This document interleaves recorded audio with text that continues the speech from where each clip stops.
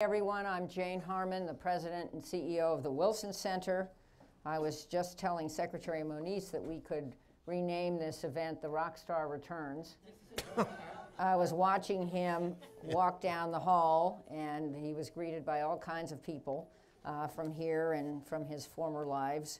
And uh, uh, it's just a real pleasure uh, to welcome him back for his third tour at the Wilson Center. He's a great friend to our work, and he's uh, spoken to us in the past about science in the Amazon, American energy policy, and today he'll focus on the Iran deal and other nuclear challenges. We have many of our nearest and dearest supporters and leaders from the Wilson Center in the front row, and I believe the ambassador of Iraq is also here. There you are. Welcome, sir. Um, as you all know, Ernie Moniz is a deep thinker with a broad portfolio a scholar and a public servant who does our namesake, Woodrow Wilson, proud. And while you don't have to be a nuclear physicist to understand the Iran nuclear deal, it definitely helps. As I've said before, uh, if I were still in Congress, where I served for nine terms, I would have voted for the deal. But the movie isn't over yet. Rob Litwak, our vice president uh, for scholars, who's sitting in the front row, and who himself is one of uh, the top experts on this issue, uh, writes that the deal is transactional, not transformational. It's an arms control deal, in other words, not a grand bargain. And there are still many nuclear question marks out there.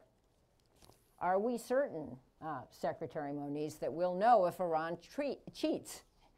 If they try, uh, and if we have evidence that they are trying, will, will we, the US government, especially you, be able to convince Europe, which is now getting hooked on uh, trade with Iran, uh, that we have a smoking gun? On top of that, uh, what about other nuclear challenges uh, way beyond Tehran? As the head of the Department of Energy, uh, Secretary Moniz manages our nuclear arsenal, leads our most sensitive nuclear research, and pioneers the use of new technologies in other energy sectors. Uh, all of this will come up in our conversation today. So I'm not sure what keeps you up at night, but here are a couple of things that keep me up at night. I think about, in addition to Iran, North Korea, which claims to have tested a hydrogen bomb. I worry about Pakistan, with an arsenal of more than 100 nukes and an intelligence service that has been known to play both sides the, in the war on terror. Could the Taliban get its hands on some of that material? Could ISIL. To quote Jack, the late great Jack Valenti, whom many of you probably knew, uh, I sleep better at night knowing that Ernie Moniz, a brilliant scientist and dedicated public servant, is on the case. He's one of this country's most accomplished physicists with a doctorate from Stanford and decades of experience on the faculty at MIT, where he served as head of the Department of Physics. And he's taken all that brain power into public service, first as uh, the Clinton administration's uh, uh, in the Clinton administration's Office of Science and Technology Policy, then as Undersecretary of Energy in that administration, and now as the President Obama's Secretary of Energy since 2013. He has this uncanny ability to translate scientific material into language that even recovering politicians can understand. He's clear, he's reassuring, and many of my friends on the Hill tell me uh, that the Iran agreement would not have survived but for his reassuring pitch. In the Iran talks, he was America's secret weapon. So now please join me in welcoming uh, one of the Wilson Center's greatest uh, re repeaters, uh, Secretary Ernie Moniz. Over the top. Over the top. Over the top. Well, thanks, Jane. Uh, uh, as, as you said, uh, actually, well, I would add that the Wilson Center is one of the uh, great places to come to precisely because it's a place where I can actually discuss all the diverse missions of the Department of Energy. Uh, you mentioned science and uh, what we did with Brazil and the Amazon and Paulo here someplace and then Jan and, and energy and now, of course, on, on our security agenda, something that Jane has had a little bit of experience in uh, for some time. Of course, she's also a fabulous bait and switcher Uh, would you come here and talk a little bit about uh, where we stand on implementing the Iran deal? Oh, and by the way, let's do North Korea and the Taliban, uh, nuclear deterrence, uh, and a few other issues. You can come uh, back and, We can. and do more. That, that's why we have Q and A. I, that's right. Um, so um, let me uh, uh, today what we're going to focus on is basically nuclear materials, uh, uh, and uh, I would just put that in the context that President Obama, this group is very knowledgeable, knows that already in April of 2009, in, in the Prague agenda, laid out a broad nuclear agenda with a very, very strong focus on kind of reviving uh, really um, uh, our, our programs, our actions in terms of controlling, eliminating whenever possible uh, nuclear materials uh, of risk. Uh, and I'm going to end up today uh, by uh, conjuring up the Nuclear Security Summit that we have coming up uh, at the end of next month, um, uh, leading in turn, by the way, to the IAEA's second triannual uh, nuclear security uh, ministerial.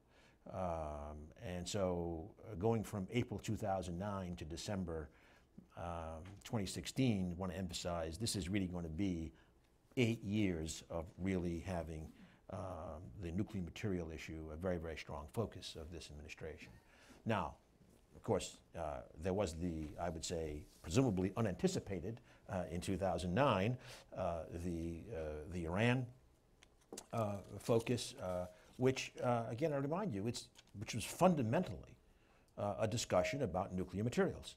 Uh, and, of course, about the technologies that could uh, make those uh, materials weapons usable, uh, whether it's high enriched uranium or, or, or, or plutonium. But when it comes around to these issues, it's roughly speaking, it always comes back to the availability of nuclear materials and the risks that, that they can, that they can uh, pose.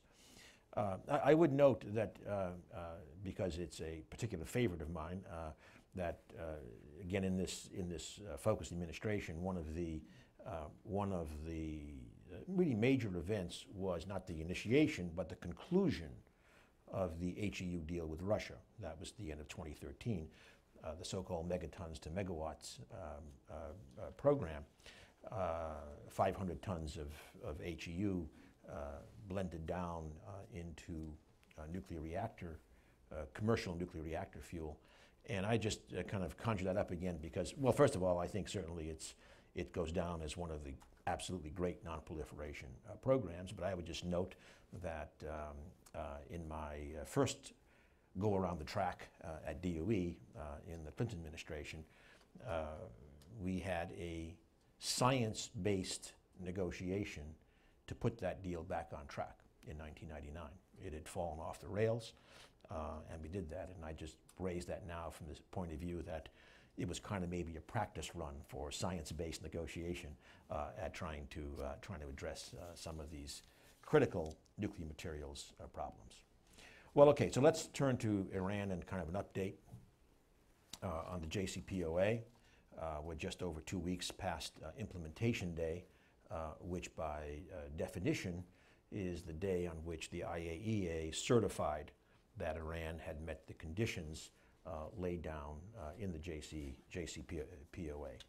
Um, in terms of our, the science-based focus, I would just note that um, basically, you know, the, the negotiations uh, clearly uh, were having a hard time uh, making substantial progress. And I want to say that I think that that is to a large extent because when you think about it, obviously it was kind of a, on the one hand, a, the negotiation was about a substantial rollback of Iran's nuclear program in return for the relief of, uh, of sanctions, of a certain class of sanctions at least. So on the Iranian side, um, the nuclear program was the, uh, the giver. uh, and, uh, and frankly, I think without having uh, Mr. Salehi, uh, head of that program, a former foreign minister, a vice president of, of, of Iran, without having him directly involved, it was just going to be very, very difficult to, to define the parameters of that, of that nuclear rollback. And so it was really in recognition of that uh, that he and I were uh, put into the negotiation to, to really focus on the nuclear dimensions uh, and how we would uh, uh, have a substantial rollback, accomplish the fundamental objectives laid down by President Obama, uh, while preserving the essentials uh, as required by Iran's uh, supreme leader and, uh, and President Rouhani. So that was really the dynamic that led to this rather unusual situation in which, on our side, Secretary Kerry and I were negotiating these tracks, and on their side, Foreign Minister Zarif and, and Mr. Mr. Salehi. I want to emphasize, however, I've done this many times, but I never want to forget to say that um, uh, clearly when Salehi and I were put into the negotiation, the science component uh, received a lot more public attention, but the Department of Energy, its national laboratories, which are an incredible resource of nuclear knowledge, nuclear science, nuclear technology. I want to make it very clear. They were involved throughout all the negotiations, the entire time, uh, providing the technical underpinning it was just that when, the, when this got elevated to kind of a direct negotiation, uh, that it became more public. But I just want to say that we had, uh, it's, it's, it became public. We had seven national laboratories and two additional nuclear sites involved in the negotiation throughout its entirety, uh, providing the analysis. And I should say right now, uh, they will continue to be involved uh, in this period now of, of implementation and, uh, and verification, certainly supporting the IAEA uh, in, its, uh, in its jobs.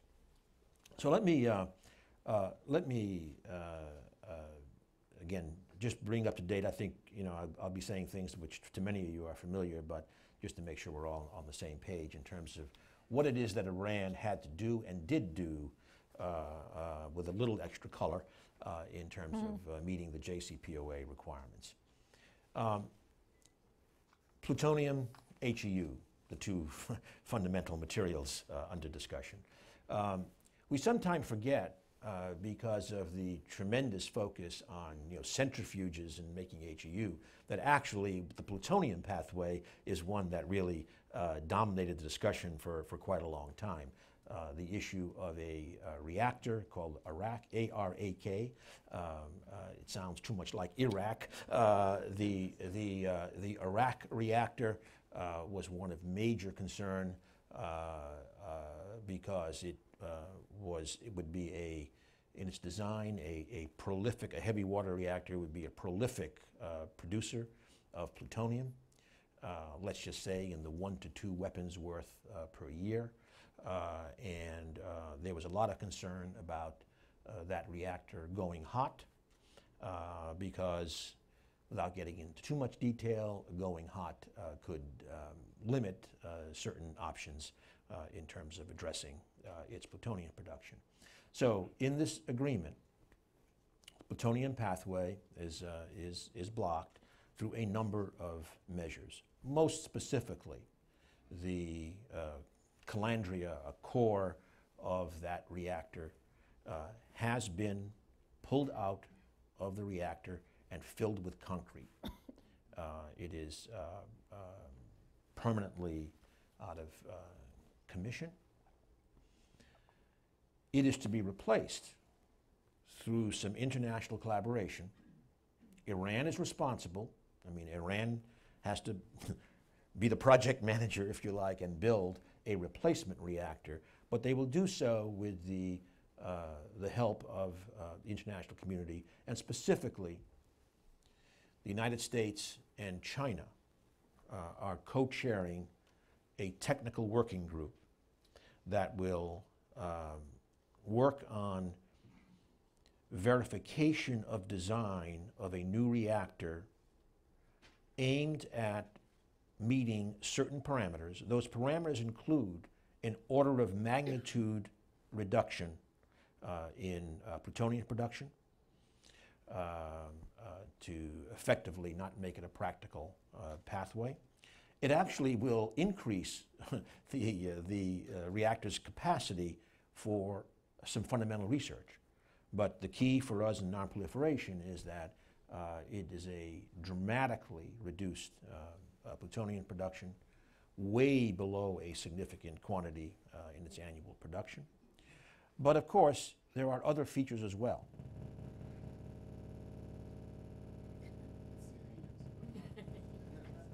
That's a Geiger counter, and uh, uh, the uh, uh, the uh, so Iran. I'll just keep talking.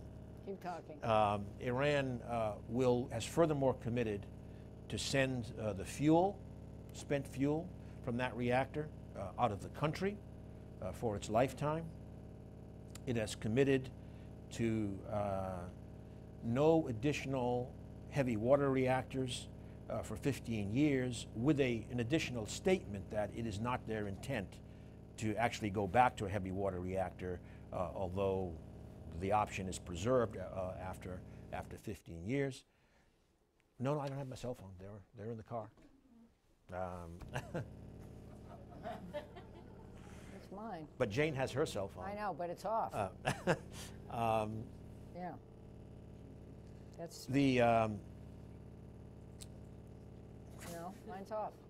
uh, uh, in addition, uh, they have uh, agreed to cap their heavy water inventory at a level required to service the new reactor uh, uh, uh, design, which, as I said, is is uh, is Check. uh, So we'll turn the other one off.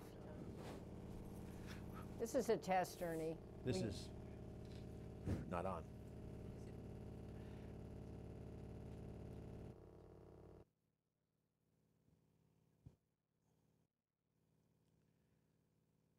Uh,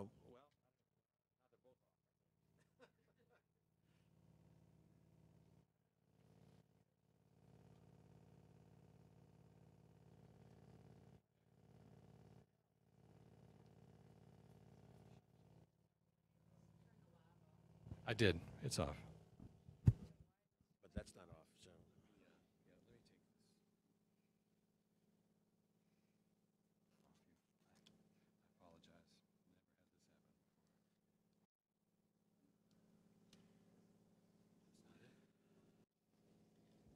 Well, okay, let's, let's carry on in any case.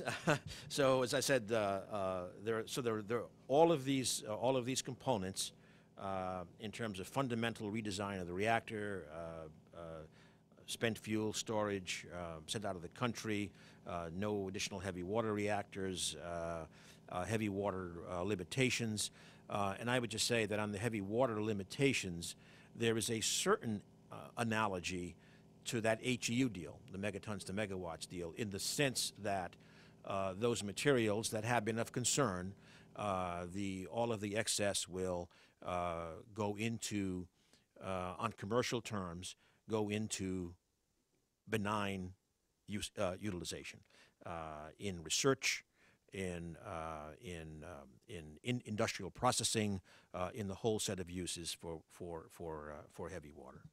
So that, uh, that, uh, all of that's been done, as I said, and the IAEA uh, certainly has verified the steps up to now, um, including Iran's sending of, it, of its additional, its surplus heavy water outside of, of, of Iran already, not to mention the concrete in the Calandria.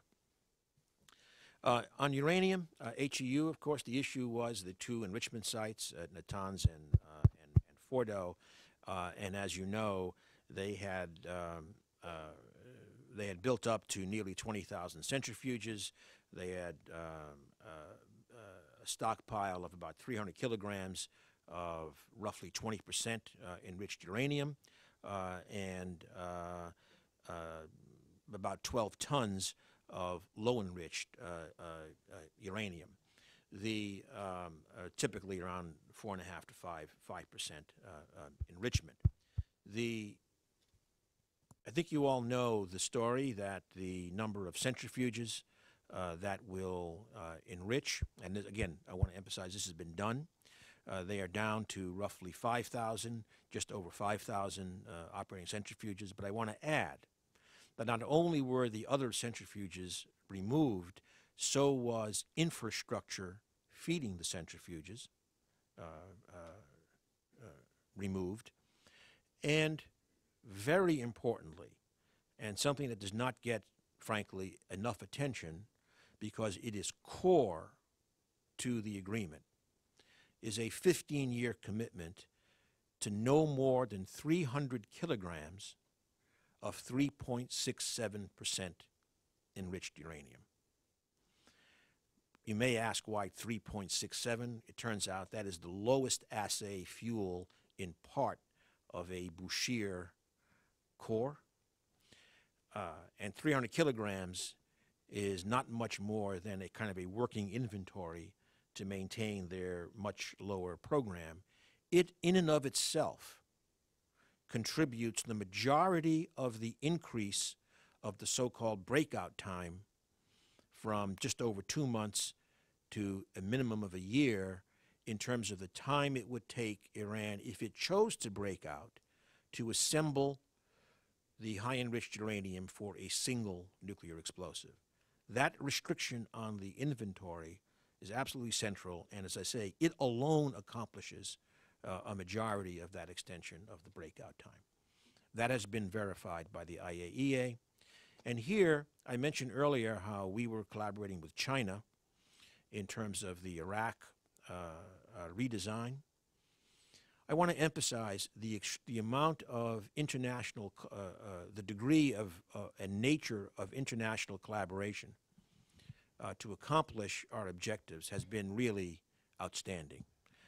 It goes without saying that this was a P5 plus 1 plus EU negotiation in the first place.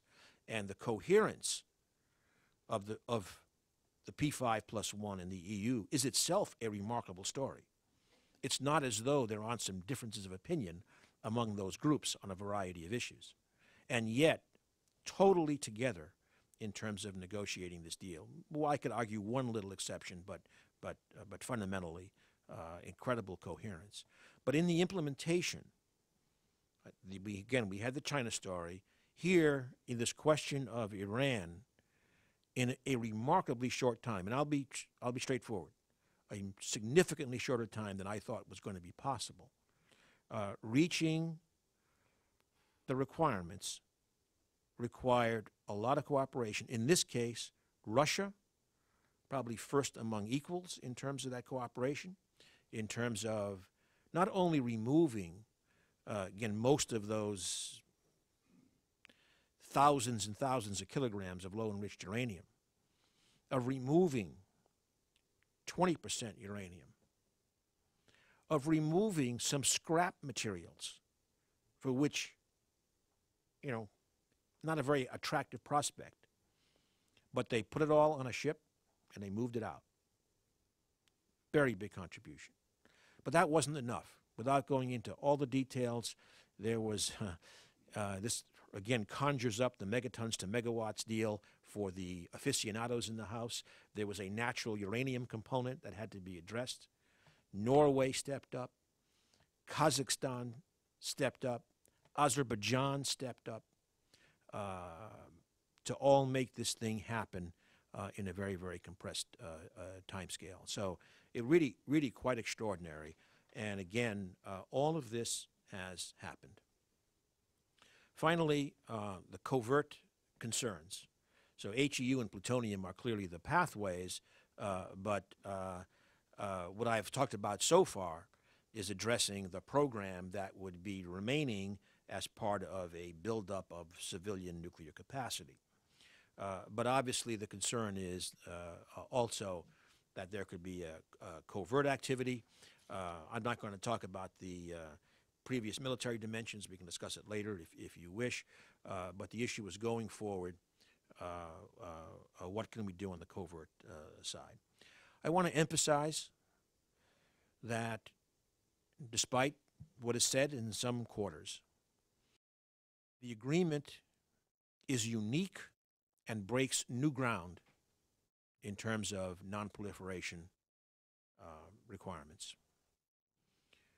One bit of new ground is that uh, Iran, well, Iran has already now into compliance, and it's not ratified yet, but into compliance with the additional protocol, which, as you know, is the basis for access to undeclared sites uh, that are suspicious. Uh, however, for the first time, there is a finite time of response to an IAEA uh, request uh, for access to any site that uh, for which there are grounds to to suspect uh, unallowed activity. It's 24 days uh, is the maximum time clock. Uh, we are extremely confident about our ability to uh, detect uh, the use of, uh, particularly of uranium, uh, in, in, in facilities. But again, just having a time clock is itself uh, a, a first. Uh, there'll be a procurement working group uh, through which Iran must go for, for, uh, for its purchases. There are new, not only quantitatively new, but qualitatively new elements, such as a 25 year verification of the uranium supply chain. There is, for the first time, not only a commitment, which all NPT signatories have, to not pursuing a nuclear weapon, but for the first time, forever, there's a commitment to not pursuing weaponization activities. Things like explosively driven neutron generators. You can imagine why that might be useful in one context. Uh, multi point initiation of explosives, etc. And for 15 years, no work uh, with uh, uranium metal. So these are really new steps that have, that have been taken, and uh, there are others, such as not, which are not new in the international context, but new in this context. For example, allowing the IAEA to use advanced technologies, and that's already happened. Electronic seals are in place, uh, wired up to uh, to central uh, data collection systems for the for the IAEA. As you can imagine, the IAEA has been handed an enormous new responsibility, uh, like 25 years of verifying a uranium supply chain. But these are all in place uh, and moving forward. So it's a pretty remarkable, pretty remarkable story, uh, and certainly it will take the support uh, of the IAEA in getting that done. I mentioned that earlier. That will be financial support. Uh, it will also be the kind of support that we will continue to offer in terms of our, for example, our laboratory capabilities, uh, in terms of new technologies and, and, and the deployment of, of, of technologies. So finally, uh, so that's that's this. I think what I would stop with in terms of Iran. I'll just say a few words uh, since uh, Jane invited a broader discussion that um, on on the nuclear materials uh, side. Um, uh, again, the job is not over, and I don't mean just Iran.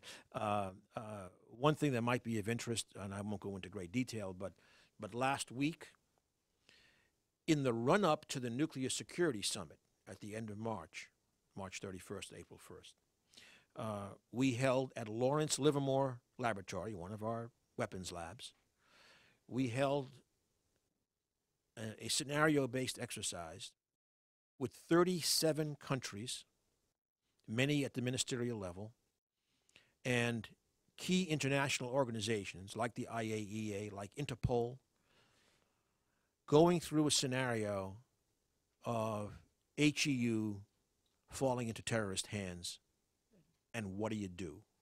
Mm-hmm. It was very interesting. Uh, on the one hand, we had a pre meeting in which the delegations had a chance to go around and see some of the technologies at Livermore that we use here. For example, uh, nuclear forensics, a key issue in, um, in this kind of an event. Needless to say, international capabilities in something like that are highly variable. So, one of the lessons that came out for sure is what kind of international cooperation, how do international organizations work on this? uh, in, in the case of an, of an event. But we also had, you know, as these, these exercises always point out, for example, I'll stay with forensics, talk about the United States. In a forensics examination, we can get some information very quickly. But a real, to get the full information takes weeks. Weeks may be a great laboratory timescale. It may not be a senior official decisional timescale. So how do you manage the mismatches between that? How do you manage public acceptance? So this was a this was I say a big deal uh, and a remarkable exercise uh, with tremendous participation. And this is a prelude, as I say, to the nuclear security summit uh, that will come will be coming up uh, and uh, end of March, uh, and um, and um, uh, which will continue uh, the issues around the success that we've had uh, working with other countries in terms of removing weapons usable materials uh, from across the board. Now, that is the end of my uh, uh, remarks, um, uh, except that um, you mentioned transactional versus transformational. And um, maybe I'll just conclude with a comment that um, I believe that is the correct characterization today. The question is will it remain that way? Which is okay, a lot of progress. But I, don't, I also don't think we should at least we should blunt our hopes and aspirations that it will grow into something that is transformational in terms of relationships uh, in, in the region, relationships with us. And ironically, I would say the more the implementation of the agreement is transactional, the better chance we have for it to become transformational. Thank you.